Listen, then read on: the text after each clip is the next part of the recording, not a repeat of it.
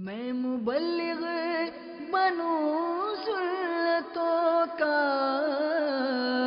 خوب چرچا کروں سنتوں کا ہو کرم بہر خان کے مدینہ۔ الحمد رب العالمین، والصلاة والسلام على سید الانبیاء والمرسلین۔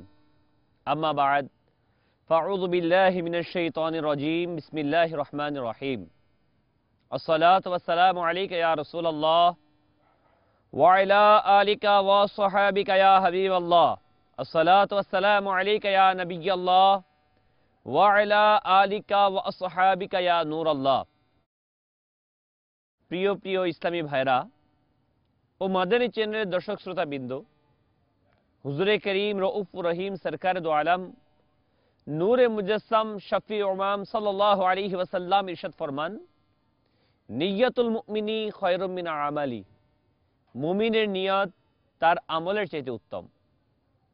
তো আসুন, আমরা মাদানী চ্যানেলের এই অনুষ্ঠান জান্নাতের চাবি দেখার প্রথমেই নিয়ত করে নেই যে আল্লাহ আজাল্লাহ সন্তুষ্টির জন্য হুজুরে করিম আলিহি সালাতামের সন্তুষ্টির জন্য, নেক হাসিলের জন্য এলমেদিন শিখার জন্য, নিজে আমল করার জন্য, অপর নিকট পৌঁছে দেওয়ার জন্য আমরা এই সিলসিলা প্রথম থেকে শেষ পর্যন্ত শ্রবণ করব ইনশা আল্লাহ দুরুদে পাকের অগণিত ফজিলত ও বারাকাত রয়েছে। আল্লাহর প্রিয় মাহবুব সাল্লাহ তালা আলহি ওয়াসাল্লাম মিশাদ ফরমান, যে ব্যক্তি আমার প্রতি দৈনিক একশত বার করে দুরুশ্বরী পাঠ করবে আল্লাহ রাজ্জাল ওই ব্যক্তির কপালের মধ্যে লিখে দিবেন যে এই ব্যক্তি জাহান্নামের আগুন থেকে এবং মুনাফিকি থেকে মুক্ত রয়েছে। সাল্লু আল হাবিব সাল্লাহ মুহাম্মদ সাল্লাহ প্রিয় প্রিয় ইসলামী ভাইরা ও মাদানী চ্যানেলের দর্শক শ্রোতা বিন্দু আজ বিশ্বব্যাপী অস্থিরতা পরিলক্ষিত হচ্ছে। কোনো দেশ, কোনো শহর, কোনো গ্রাম, বরং কোনো ঘরও এমন নেই। এমন হয়তোবা মানুষও খুঁজে পাওয়া যাবে না, যেখানে নিরাপত্তাহীনতা, অশান্তি পাওয়া যাচ্ছে না।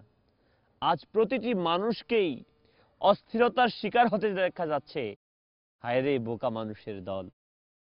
মদ ও বাদ্যের আসরগুলো সিনেমা হলের গ্যালারিগুলো নাট্য অনুষ্ঠানের মঞ্চগুলো, অশ্লীলতা, বেহায়াপনা, উলঙ্গপনা ধারা সাজানো নৈশ ক্লাবগুলো, কাল্পনিক ও রোমাঞ্চকর নভেল নাটকের বই পুস্তক, উপন্যাস, পাঠ পর্যালোচনার মধ্যে শান্তি সন্ধানের তৎপর রয়েছে। শেষ পর্যন্ত, শান্তি কোথায় খুঁজে পাওয়া যাবে? প্রিয় প্রিয় ইসলামী ভাইরা ও মাদানী চেনের দর্শক শ্রোতা বিন্দু আসুন কোরআনুল করিমকে জিজ্ঞাসা করি, হে আল্লাহ আজাল্লাহ সত্য পবিত্র কালাম, তুমি আমাদেরকে দিশা দাও, তুমি আমাদেরকে বলে দাও, শান্তি কোথায় পাওয়া যাবে? কোথায় আমরা শান্তি খুঁজে পাবো?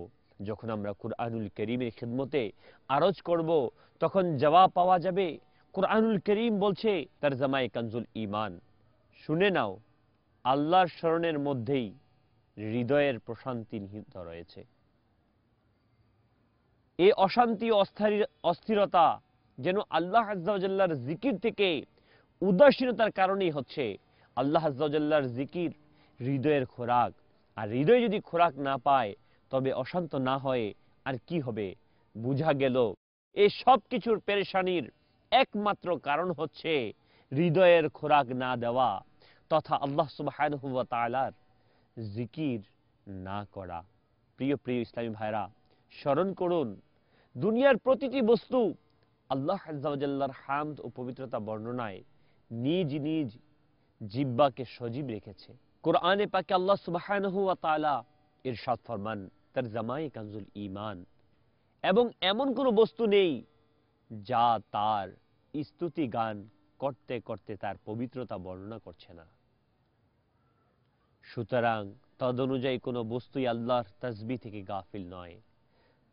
হজরত সদরুল্লাহ ফাদিল মৌলানা নাইমুদ্দিন মুরাদাবাদী রহমতুল্লাহ তালা আলাই তার তফসির খাজাইনুল ইরফানে লিখেছেন হজরত ইবনে আব্বাস রদি আল্লাহ তালু থেকে বর্ণনা করেন, প্রত্যেক জীবিত বস্তু আল্লাহ আজ্লাহর তসবি করে থাকে।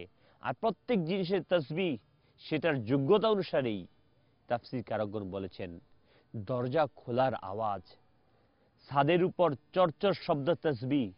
আর এইসবের তসবি হচ্ছে সুবহান আল্লাহি অবিহামদি হজরতে ইবনে উমর রদি আল্লাহ তালা আনহুমা থেকে বর্ণিত, তাজেদারে মদিনা, রাহাতে কলবসিনা ফয়েজে গঞ্জিনা সাল্লাহ তালা আলিহি ওয়াসাল্লাম।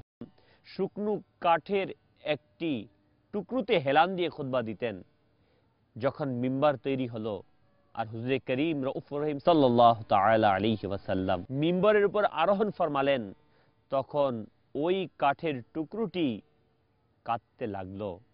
পরম সহানুভূতিশীল আকা হুজুরে করিম সাল্লাহ সাল্লাম সেটার উপর দয়ার হাত বুলিয়ে দিলেন এবং স্নেহ করলেন ও সান্ত্বনা দিলেন। এই সব কটি হাদিসে কারিমা থেকে জ্বর বস্তু, যেমন পাথর, কাঠ ইত্যাদিও যে কথা বলে তসবি করে তা প্রমাণিত হলো। গাছ, পাথর, জড়বস্তু, প্রাণীকুল, সবই তার স্মরণে, অর্থাৎ আল্লাহ আজ্লাহ স্মরণে মশগুল রয়েছে।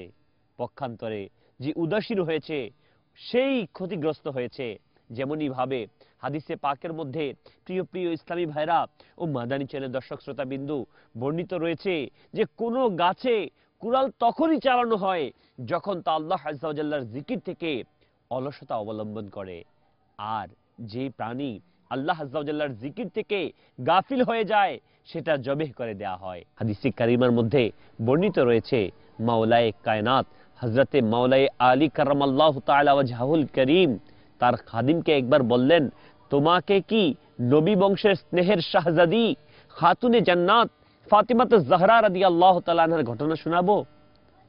সে আরজ করল, অবশ্যই এরশাদ করুন। তো হজরত আলী রাদি আল্লাহ তালা ইরশাদ করলেন। চাকিতে গম পিষতে পিষতে তার হাতে ঠোস পড়ে গিয়েছিল। পানির মস্ক নিজে ভর্তি করে আনত। এর কারণে বুকের উপর রশ্মির দাগ পড়ে গিয়েছিল। অনুরূপভাবে ঝাড়ু দিতে গিয়ে তার কাপড় ময়লাযুক্ত হয়ে যেত। একবার সরকারে মদিনা আলিহি সালামের দরবারে কিছু দাসী কাজের লোক আসলো। আমি বিবি ফাতিমা রাদি আল্লাহ তালা আনহাকে পরামর্শ দিয়ে বললাম, এখন তোমার সুবর্ণ সুযোগ। যদি তুমি আপন বাবা যান, রাহমাতে আলামিয়ান আলিহি সালাম থেকে একটা সেবক সেবিকা চেয়ে নাও, তখন তোমার কাজ কর্মে খুবই সহজ হয়ে যাবে। সুতরাং ফাতিমা রাদি আল্লাহ তালানহান তিনি চলে গেলেন।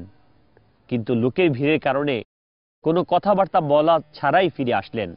পরদিন সরকারে মদিনা সাল্লাহ তালা আলী ওয়াসাল্লাম তার ঘরে সদয় তশরিফ আনলেন আর বললেন, গতকাল তুমি কি জন্য গিয়েছিলে?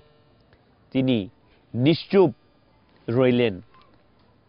তখন আমি, অর্থাৎ হজরত আলী রদি আল্লাহ তালু বলেন, আমি বললাম, হুজুর, আপনার শাহজাদি সাহেবা নিজেই চাক্কি পিসেন পানি ভরে নিজে আনেন, যার ফলে হাত ও বুকে নিশানা পড়ে গিয়েছে। ঝাড়ু ইত্যাদি দেওয়ার কারণে পর্ণের পোশাক অপরিষ্কার হয়ে যায়। গতকাল যেহেতু আপনার বরকতময় দরবারে কিছু সংখ্যক দাসী ও দাস পেশ হয়েছে সেটা আমি পরামর্শ দিয়েছিলাম, একটা খাদিম চেয়ে নিয়ে এসো, যাতে তোমার কাজে সহজ হয়ে যায়। সরকারে আবাদ করার সাল্লাহ ইসলাম ইরশাদ ফরমালেন, বেটি ফাতিমা রাদি আল্লাহ তালানহা আল্লাহ ভয় করতে থাকো। ফরজ সমূহ নিয়মিতভাবে পালন করার সাথে সাথে ঘরের কাজকর্ম নিজ হাতেই করতে থাকো।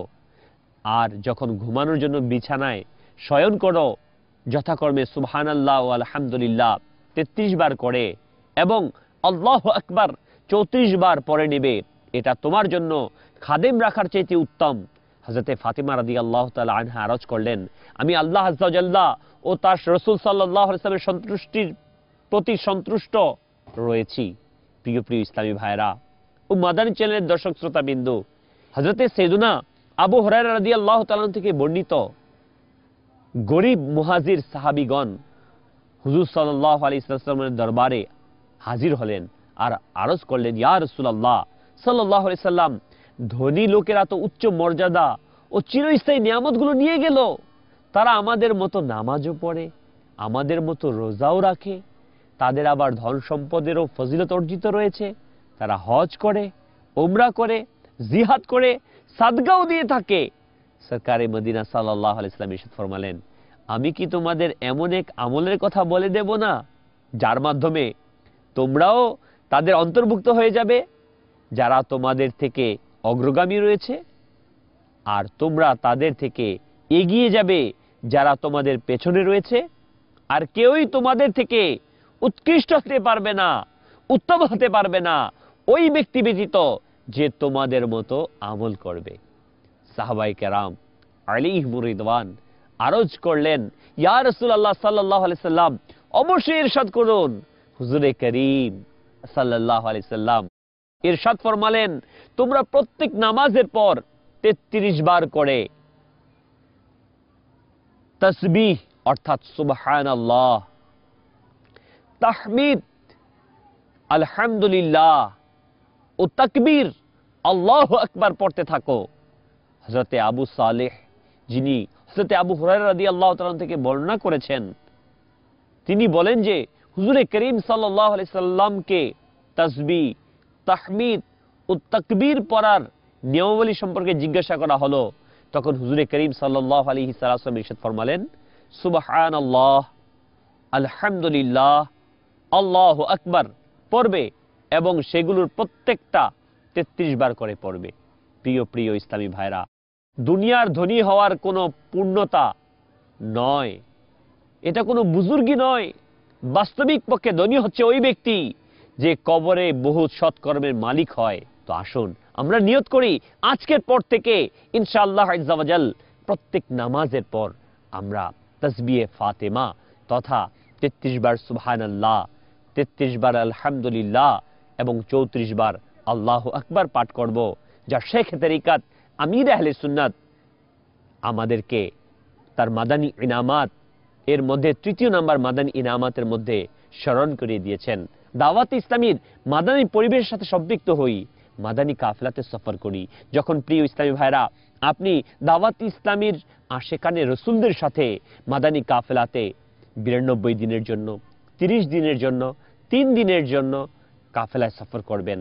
তো ইনশাল্লাহ তাবারক বা তালা এই মাদানী কাফেলার বরকতে আপনার মাঝে এই জিকিরের অভ্যাস চলে আসবে। সাহস করুন, পা বাড়ান এবং মাদানী কাফেলায় চলুন। আল্লাহ রব্বুল আলমিন আমাদের সবাইকে তার অধিক পরিমাণ জিকির করার তৌফিক দান করুক। সৌভাগ্যবান ওই ব্যক্তি যে সদা সর্বদা নিজের জিব্বাকে আল্লাহ সুবাহ তালার জিকিরের মধ্যে সতেজ রেখেছে। আর দুর্ভাগা সেই ব্যক্তি যে আল্লাহ তাবারক ওয়া তালার জিকির থেকে গাফিল রয়েছে। তো আমরা কেউ দুর্ভাগা হতে চাই না। আসুন আমরা সকলেই সৌভাগ্যশালী হওয়ার জন্য, আল্লাহ সুবাহ তালার নিয়ামতকে অর্জন করার জন্য আল্লাহ তাবারক ওয়া তালার জিকিরে মশগুল হই।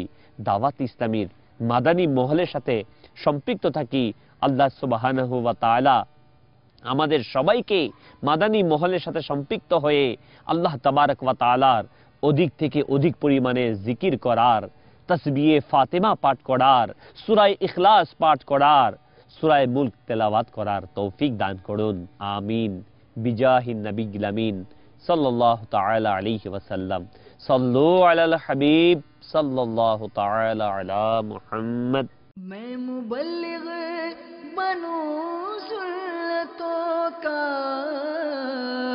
خوب چرچا کروں ضرورتوں کا ہو کرم بہر خاں کے مدینہ۔